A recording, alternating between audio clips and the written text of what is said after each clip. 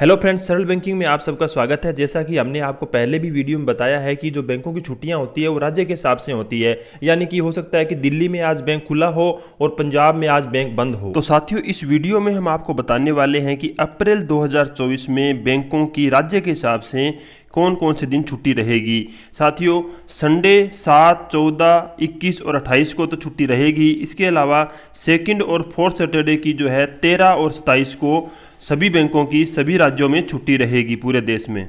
इन छुट्टियों के अलावा अंडमान, निकोबार, गुजरात, हरियाणा, झारखंड, लक्षद्वीप, मध्य प्रदेश, उड़ीसा पंजाब और राजस्थान में 11 और 17 अप्रैल की बैंकों की छुट्टी रहेगी। आंध्र प्रदेश में 9, 11, 14 और 17 अप्रैल को बैंक बंद रहेंगे। अरुणाचल प्रदेश और लद्दाख में 11 और 14 अप्रैल की छुट्टी रहेगी।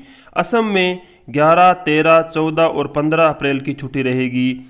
बिहार और उत्तराखंड राज्य में 11, 14 और 17 अप्रैल को बैंकों की छुट्टी रहेगी। चंडीगढ़ में 17 अप्रैल को बैंक बंद रहेंगे। छत्तीसगढ़ मेघालय मिजोरम नागालैंड और पश्चिम बंगाल में 11 अप्रैल को छुट्टी रहेगी।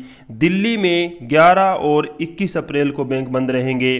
गोवा में 9, 11 और 14 अप्रैल को बैंकों की छुट्टी रहेगी। हिमाचल प्रदेश में 15 और 17 अप्रैल को बैंक बंद रहेंगे। जम्मू एंड कश्मीर में पाँच सात नौ ग्यारह तेरह और चौदह अप्रैल को बैंक बंद रहेंगे। कर्नाटक में 9 और 11 अप्रैल को बैंकों की छुट्टी रहेगी। केरल और पाडुचेरी में 10 अप्रैल को बैंक बंद रहेंगे। महाराष्ट्र में 9, 11, 14, 17 और 21 अप्रैल की छुट्टी रहेगी। मणिपुर में 9, 11 और 13 अप्रैल को बैंक बंद रहेंगे। सिक्किम राज्य में 14 और 17 अप्रैल की बैंकों की छुट्टी रहेगी। तमिलनाडु में 9, 11, 14 और 21 अप्रैल को बैंक बंद रहेंगे। तेलंगाना में 5, 9, 11, 14 और 17 अप्रैल को बैंकों की छुट्टी रहेगी।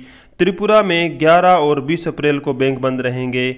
और उत्तर प्रदेश राज्य में 11, 14, 17 और 21 अप्रैल को जो है बैंकों की छुट्टी रहेगी। साथियों हर रोज सही और सरल भाषा में बैंकिंग अपडेट्स जानने के लिए चैनल को सब्सक्राइब ज़रूर कीजिए। वीडियो हमारी अच्छी लगती है तो औरों को भी शेयर कीजिए। इस वीडियो को देखने के लिए आपका बहुत बहुत धन्यवाद।